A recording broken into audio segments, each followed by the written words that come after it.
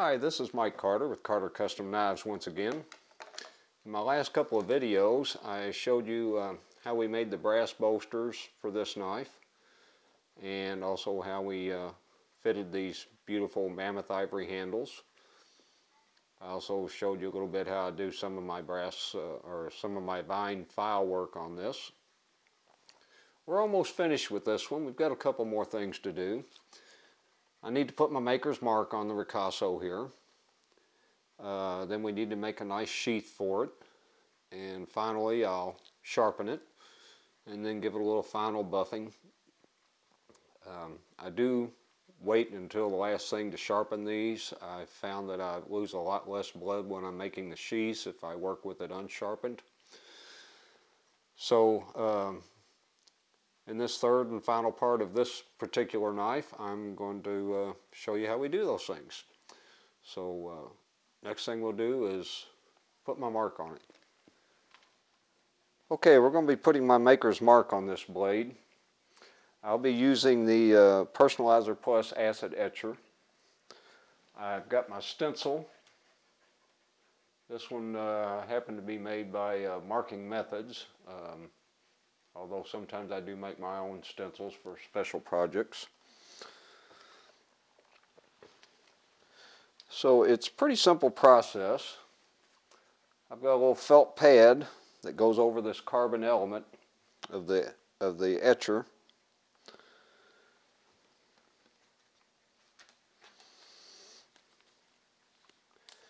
And we need to wet that down with a few drops of this special solution for stainless steel.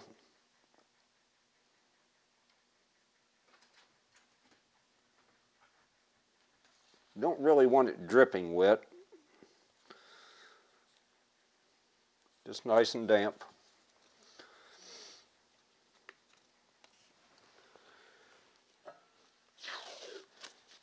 I use masking tape to put my stencil where I want it on the blade.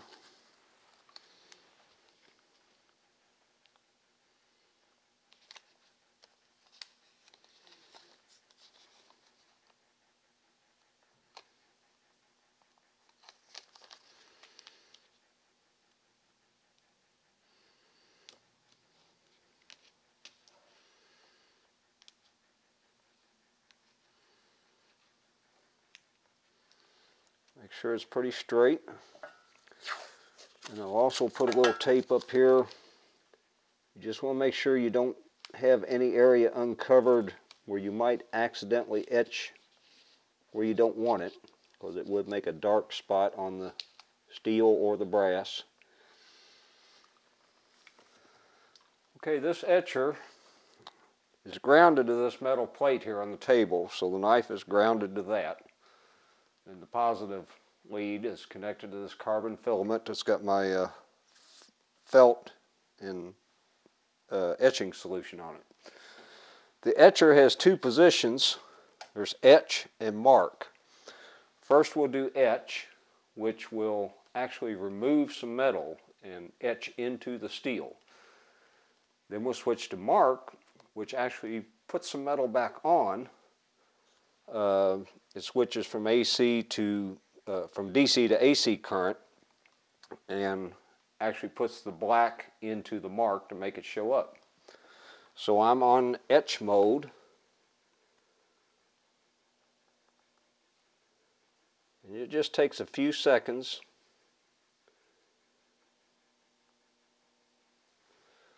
Now I'll switch to mark.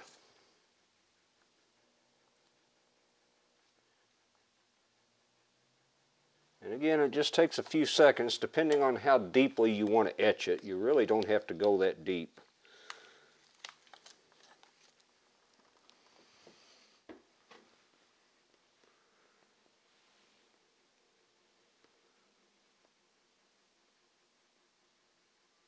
And there you see my mark.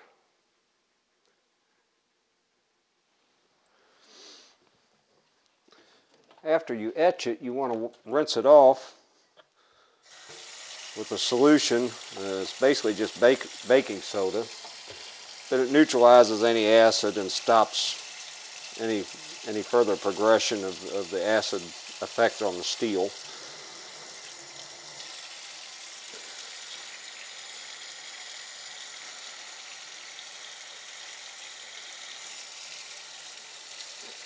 And there you can see a nice clean mark.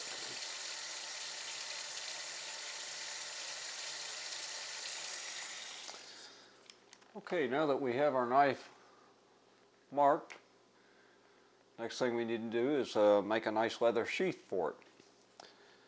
And in this case, I'm going to make one with a uh, snakeskin inlay. I think that uh, that's going to go real nice with that uh, bark mammoth ivory. So the first thing I need to do is make a template for cutting my leather out. Again, once again, I'm going to use my trusty manila file folders. I just love these things for all kinds of uses. They're cheap and uh, just work well for this. So first thing, I'm going to mark the blade for the front of my sheath, which is just going to come up to the bolsters.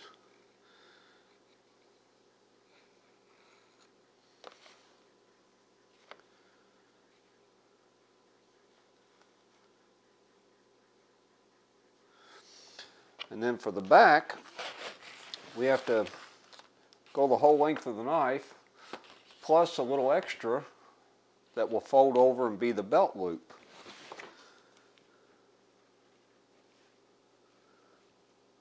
So we'll trace it again. Only this time I'm going to trace the entire handle.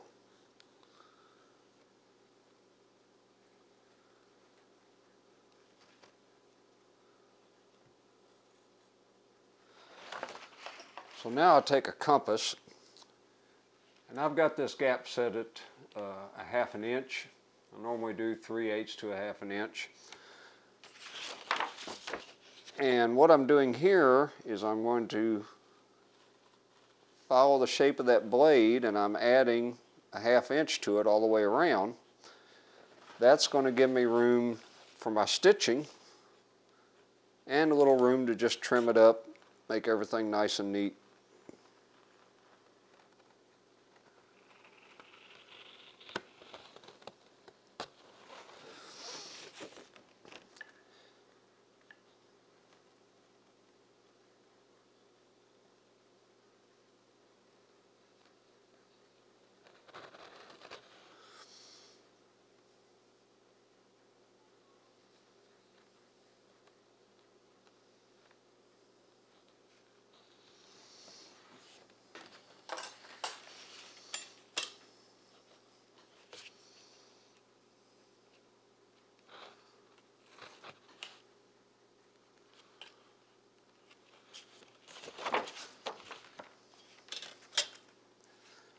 So on the back side, remember this is where our sheath is going to end. So we need to allow a little extra for our belt loop. So we got to have leather that's going to come on up here, fold over and come back down.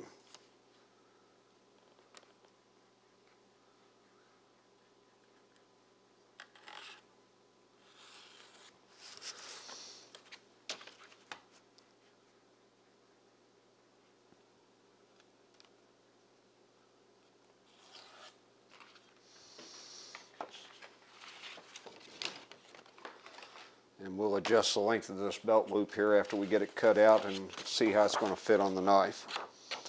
So now we just cut these little cardboard templates out.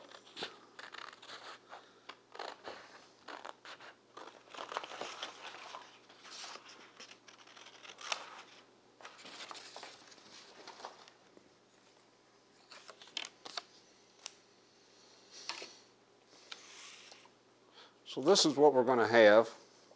That'll be my sheath back. This will be my front. And this is going to fold over and be my belt loop.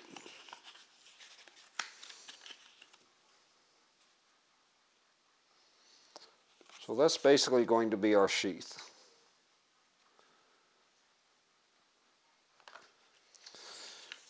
Now we will, since we're doing an inlay, we will need to make two front pieces because we're going to have a backing piece our snake skin is going to be glued over that. And then another face plate that's going to have cutouts in it that lets the snake skin to show through. So we will need to make two fronts. Okay, I've got some nice leather here. It's not too thick. I think this will work fine for both front and back.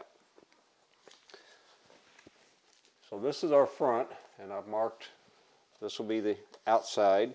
So I need to make two of these.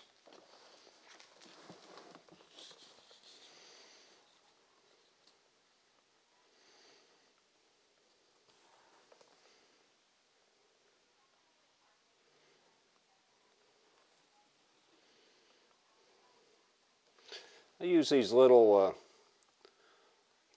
pilot red ink pens for marking my leather. They work great for this uh, marking on this leather.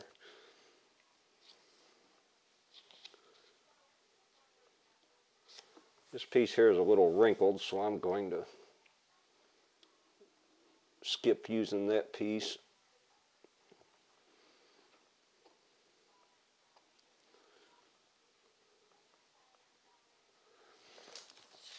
And then we got our back. Remember we had the belt loop fold over. This is going to be the inside. So you need to remember to flip that over so that you've got your uh, hair side of the leather on uh, toward the back of this sheath.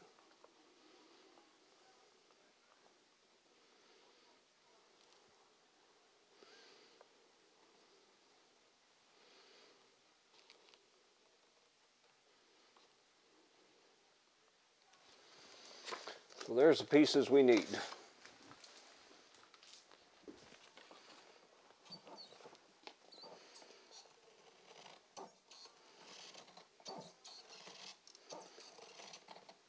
And yes, I am a lefty. In a world of right-handed scissors.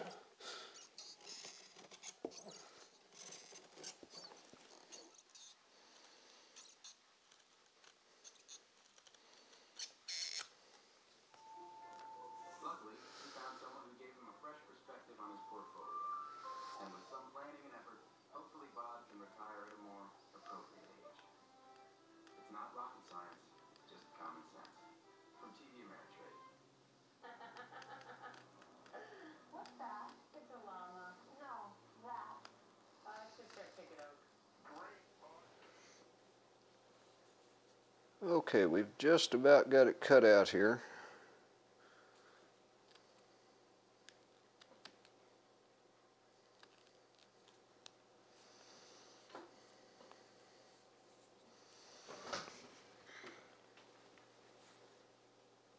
So here's our front.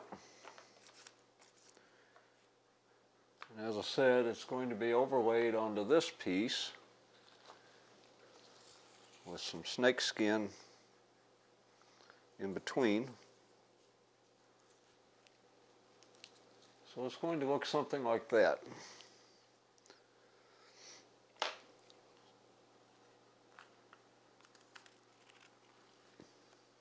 I'm going to take this little beveling tool and uh, clean up these edges a little bit.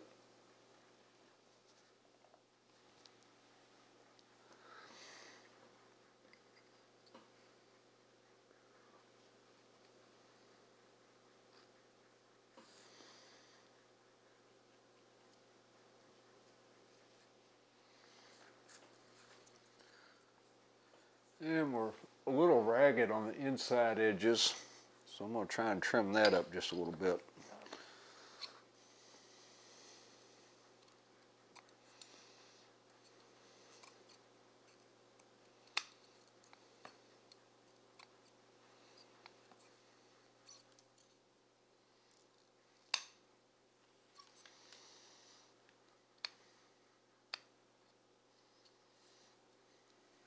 Now Them a little bit. I just have a little uh, piece of uh, mammoth ivory here, but some smooth wood or plastic or anything will work with this. Basically, you're just rolling down that that leather.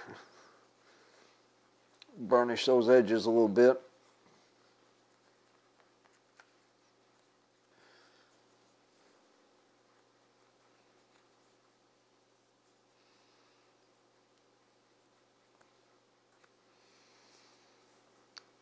And just kind of slicks those edges up a little.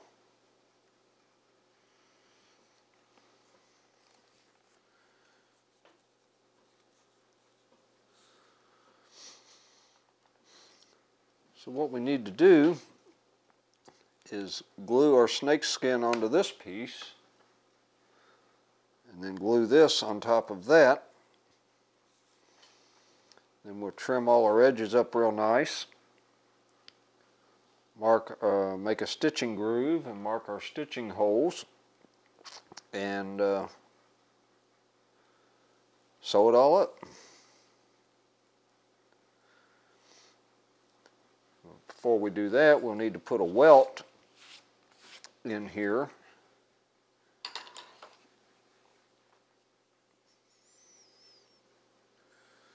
So let's mark where that will be.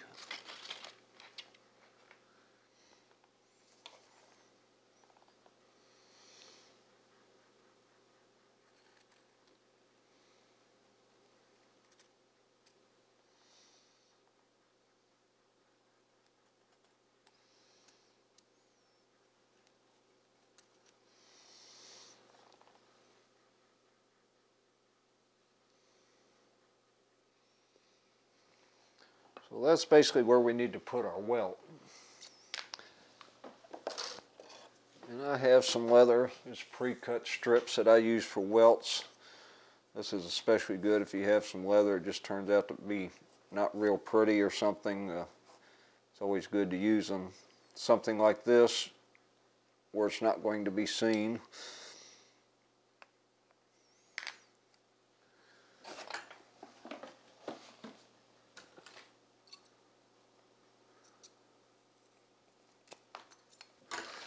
In this case we've got a gentle bend we have to make here. And this leather will bend and make that easily. But if you do have to make a sharp bend on your welt what you can do is make a couple of cuts little V-shaped cuts in the leather and cut out a little V-shaped notch in it and that will let it close up to where that notch was and you make a sharper bend with it.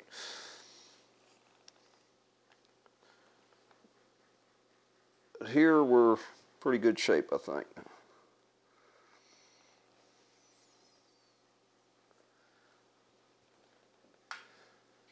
Now before I glue my welts onto my back piece, there's a couple of things I want to do here. First of all, I want to put my Maker's Mark stamp on this. So we need to uh, wet it down a little bit. And I have my custom made Carter stamp.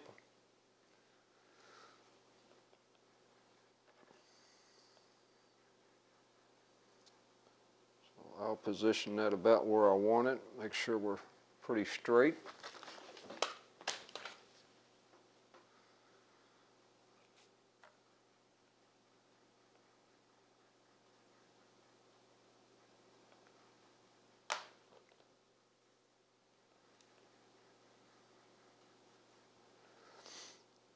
give it a couple of whacks with a hammer.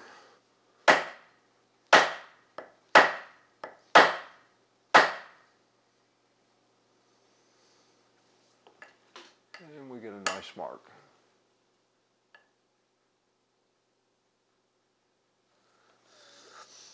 So I'm going to glue my first welt in here.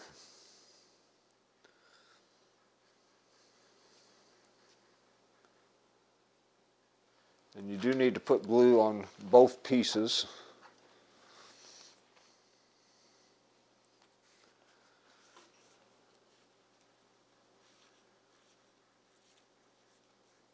As you can see, I have not dyed anything on this leather yet.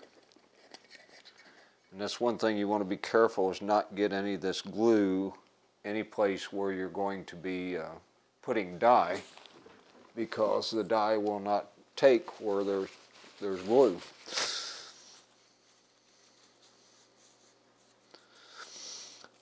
So I just have to let that sit for a couple minutes till it gets nice and tacky.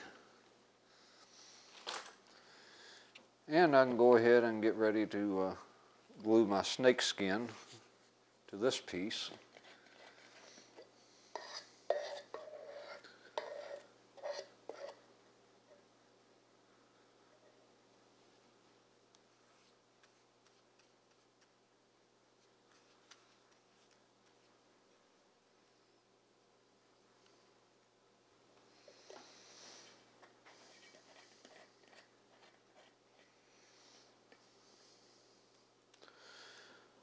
First bolster's ready to go.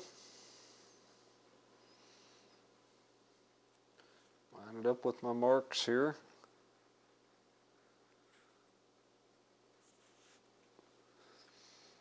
And we give that a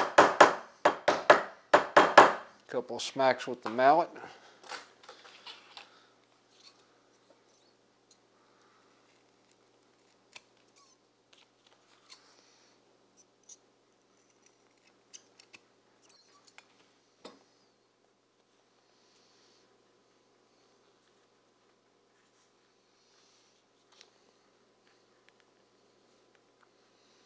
That looks pretty close.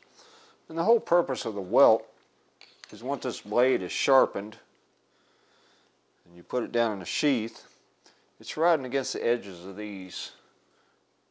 Otherwise, it would be trying to cut your threads where you've got the sheath sewn together.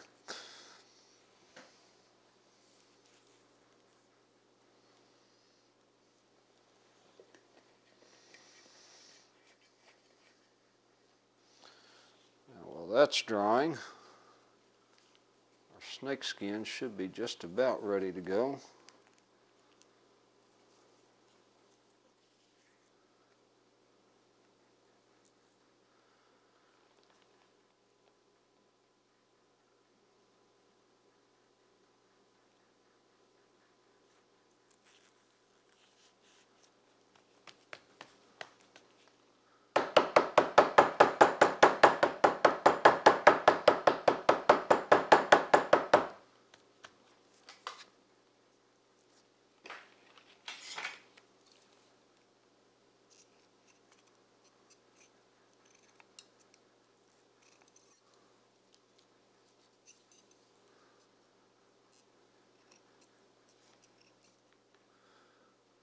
Our second bolster or welt in.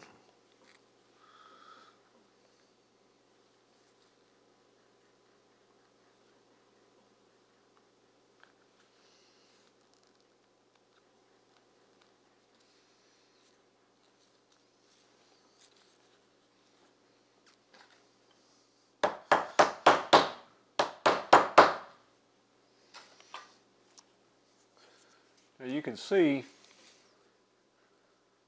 our leather's a little wider than the welt here, so we'll trim this down before we get ready to sew it. Our stitching is going to go right down the center of this welt.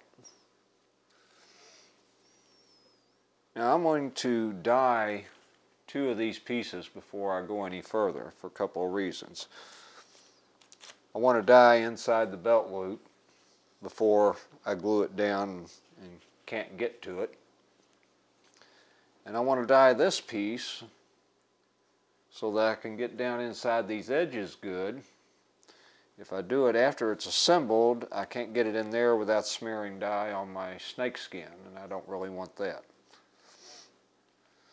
Okay, I've decided I'm going to do a uh, antique medium brown, and I do like this gel antique stain from Tandy Leather. I do want kind of an old antique look for it since we're dealing with a knife with 10,000 year old handles on it. So I'm just going to take a damp sponge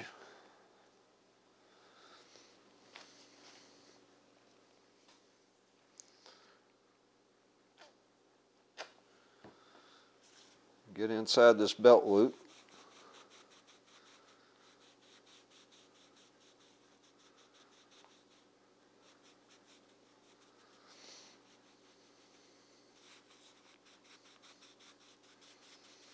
I'm going to go a little light right here where I know there's going to be glue to glue this belt loop down.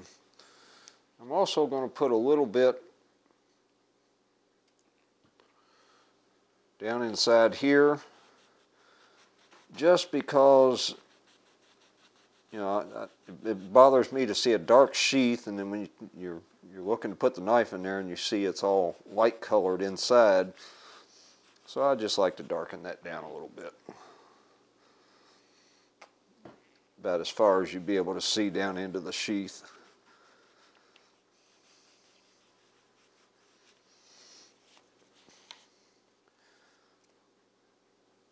and we'll do the same thing here.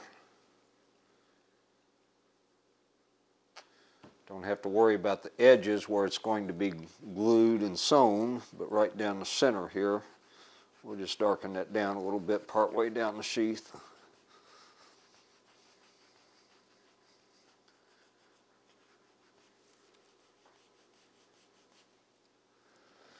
Then finally, we got this piece that I wanted to get down inside those edges good. So I'm just going to go ahead and do this whole front.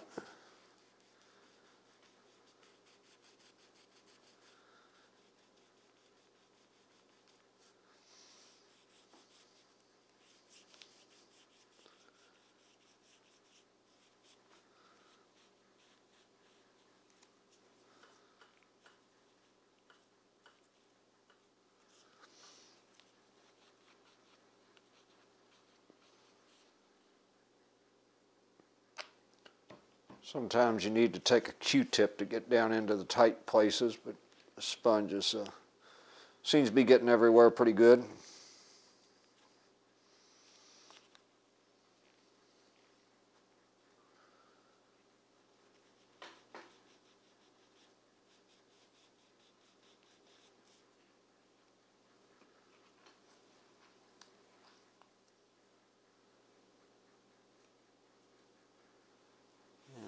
give it that antique look, I just dampen my sponge again and go over it lightly again.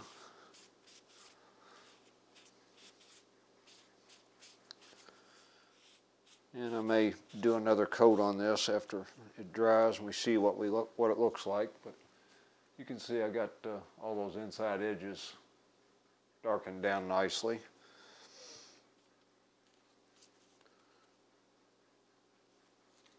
I don't have to worry about that now and getting it on my snake skin. It's going to be a nice contrast.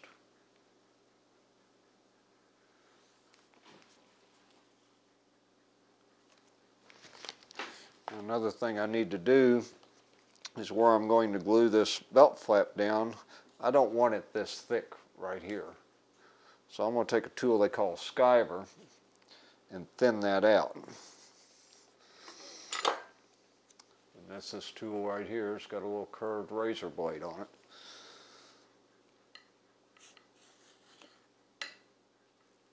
And I'm just going to cut that where it tapers down to a real fine feather edge.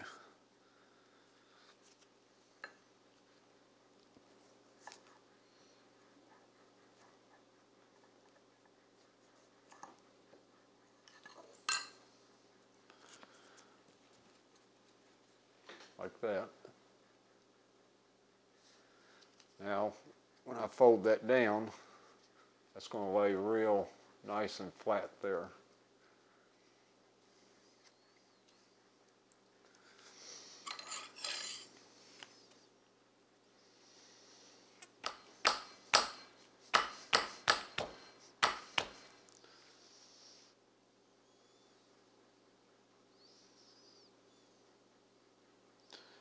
And sometimes I sew these flap, these uh, belt loop flaps down. Sometimes I don't. I really don't think it's necessary. This glue does a really good job. I mean, it's, it's, you know, it's the stuff they put the soles on your shoes with. So once it's stuck, it's stuck pretty good.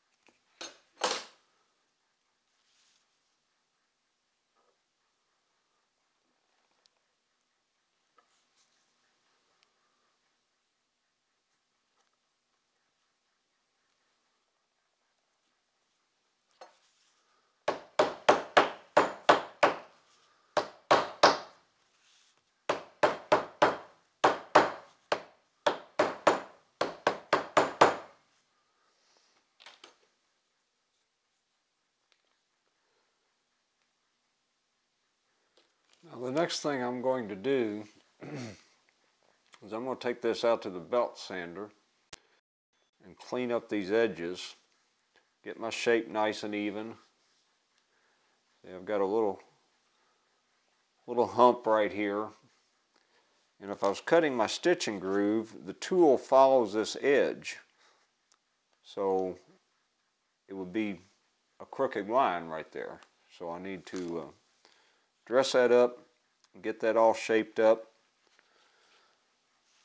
then I'll put it together with the back and dress that edge down to match this one. That's starting to look like what our sheath is going to be. And like I said, the knife's going to sit right here in this welt, just like that. Front's going to be like that.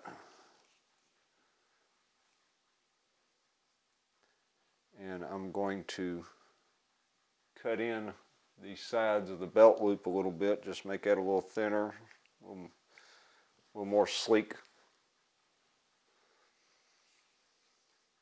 It's a lot of handles sticking up out of the sheath, but I didn't really want to put the bolsters down into the leather. I think it's going to work out real nice.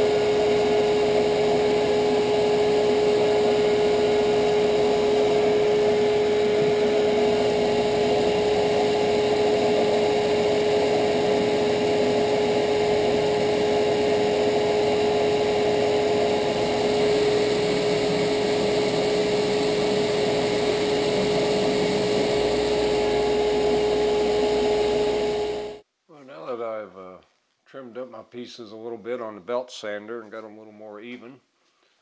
Uh, I can go ahead and cut my stitching groove and mark it for uh, where my stitching holes will be.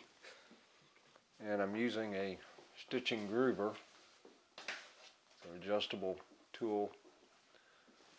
This rides on the edge of the leather and this actually cuts the groove.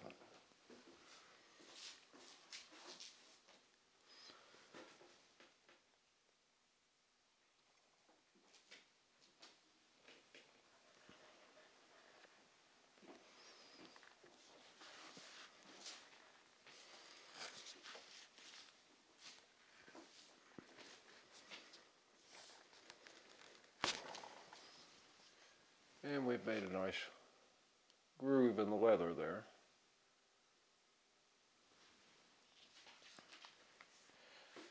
Then I'm going to take a stitching wheel.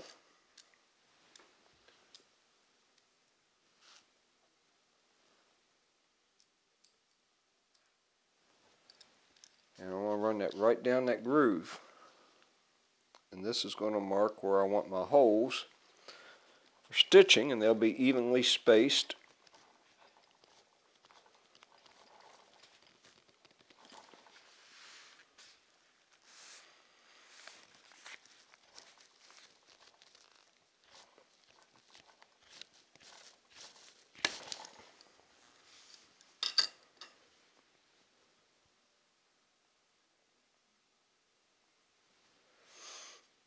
Another thing I like to do is that weather can kind of tend to rebound sometime in those holes.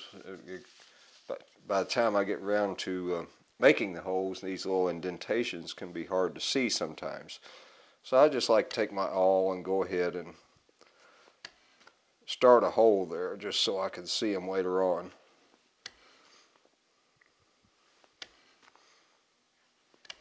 On thinner leather, I will just punch a hole through it or sometimes mount um, just a nail, a small brad in my drill press and punch them through that way. This is going to be pretty thick since we had to do three layers on the front piece. We got the backing, the snake skin, and the front piece. And then we got the welt and the back piece of leather. So it's going to be a fairly thick sheath. Uh, in this case, I'll probably take a small, like 1 16th inch drill bit and actually drill holes in it. Well, there we are. That's my starter holes where my stitching is going to be. And then when I stitch it, the thread's going to lay right down in that groove.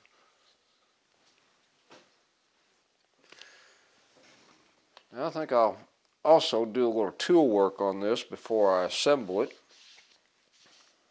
So I'm going to moisten the leather down a little bit again. Soften it up a little bit.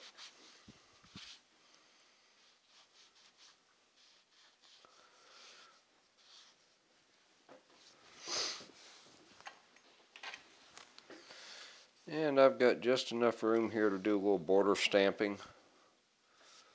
I think will look real nice with this.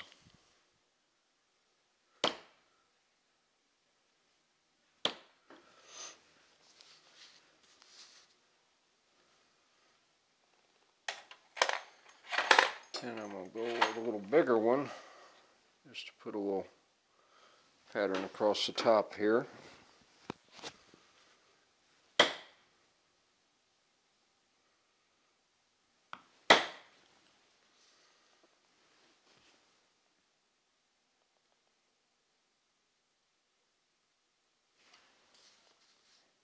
And I really think it needs something right here in the middle.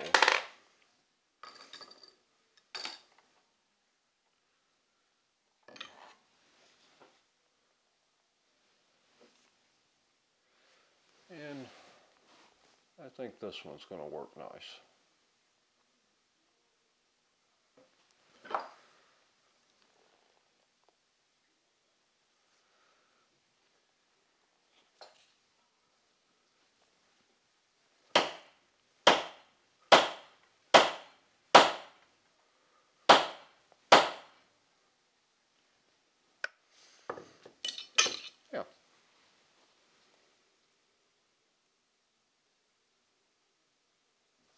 I'll show you one other thing I like to do on my sheets. It's kind of uh, tedious, but it's just one of those little finishing touches I think that kind of stands out.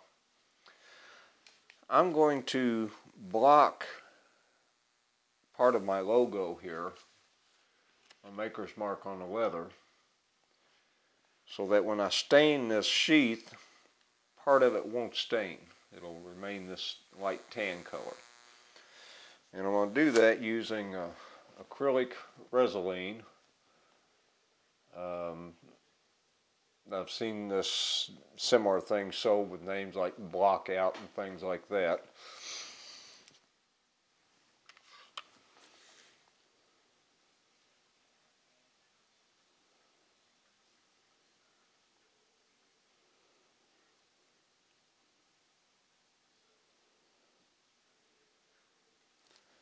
This goes on clear and it dries very quickly.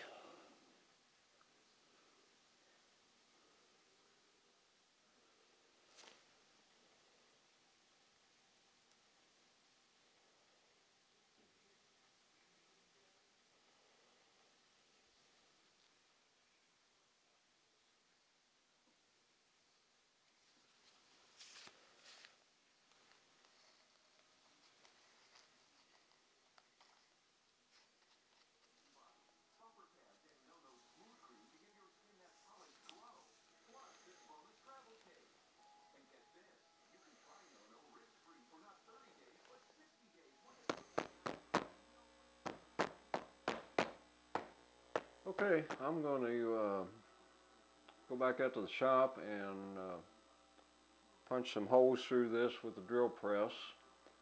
And then I'm going to hit the edge on the belt sander one more time just to clean it up